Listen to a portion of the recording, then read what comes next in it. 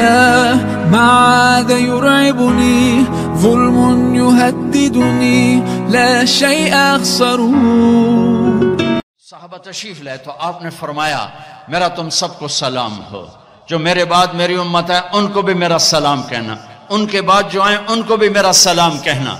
یہ ایسا سلام کوئی امت کو دے کر نہیں گیا۔ حضرت انس نے پوچھا، یا رسول اللہ، آپ کو غسل کون دے گا؟ کہ میرے اہل البیت۔ آپ کو کفن کون دے گا؟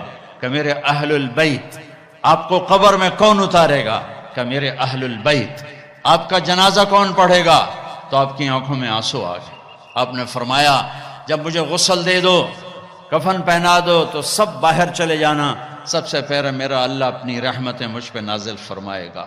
اس کے بعد جبر و میکائیل آ کر میرا، میرے لیے دعا کریں گے۔ پھر ساتوں آسمان کے فرشتے آئیں گے، وہ میرے لیے دعا کریں گے۔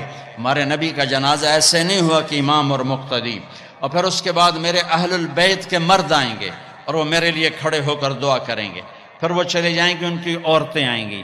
پھر وہ چلی جائیں گے ان کے بچے آئیں گے۔ پھر وہ چلے جائیں گے ان کے غلام آئیں گے۔ اس کے بعد مہاجرین آئیں گے۔ وہ میرے لیے دعا کریں گے۔ پھر وہ چلے جائیں گے، ان کی عورتیں آئیں گی، پھر اس کے بعد ان کے بچے آئیں گے، اس کے بعد ان کے غلام آئیں گے، پھر انصار آئیں گے، وہ میرے لیے دعا کریں گے، پھر ان کے بعد ان کی عورتیں آئیں گی، پھر ان کے بچے آئیں گے، پھر ان کے غلام آئیں گے، پھر مجھے میرے اللہ کے سپرد کر دینا۔ تو آپ کی چارپائی مبارک کے ساتھ لوگ قطار بنا کے کھڑے ہو جاتے تھے اور ہر ایک انفرادی طور پر آپ کے لیے دعا کرتا دعا کرتا دعا کرتا۔ لہٰذا یہ پیر کا دن، منگل کا دن سارا گزر گیا۔ اور بدھ کی رات کو آپ اللہ کے سپرد کیے گئے۔ تو جب آپ کو قبر میں اتارا، حضرت ابن عباس، حضرت علی نے، شکران آپ کے غلام نے، تو فضل بن عباس نے، تو جب باہر نکلے تو مغیرہ بن شعبہ قبر پر کھڑے تھے۔ انہوں نے اپنی انگوٹھی اتار کے قبر میں پھینک دی۔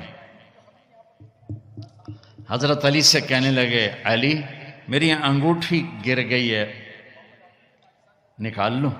انگوٹھی نکال لو انہوں نے کہا ہاں ابھی تو قبر بند نہیں کی نکال لو۔ انگوٹھی تو خود گرائی تھی۔ نیچے گئے اور جا کر اللہ کے نبی کی جسم سے لپٹ گئے اور آپ کے بوجھ سے لینے لگے دھاڑے مار کے رونے لگے۔ وہ انگوٹھی بہانہ بنایا تھا، آپ سے لپٹ کے چومنا چاہتے تھے، رونا چاہتے تھے۔ آپ کے ماتھے کا بوسہ لیا، آپ کو لپٹ کے روئے۔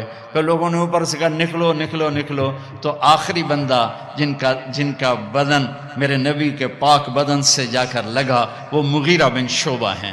پھر نکالا گیا۔ پھر آپ کی لہت تیار کی گئی تھی، اوپر مٹی ڈالی گئی۔ جب باہر نکلے تو حضرت انس فرماتے ہیں، جناب بی بی فاطمہ رضی اللہ تعالیٰ عنہ کھڑی تھیں۔ کہ اطابت نفوسکم؟ انواریتم علی رسول اللہ التراب۔ کس جگر سے تم نے دو جہان کے رسول کو مٹی میں چھپایا؟ کس جگر کے ساتھ تم نے ان کے اوپر مٹی ڈالی؟ ہاں یہی اللہ کا قانون ہے۔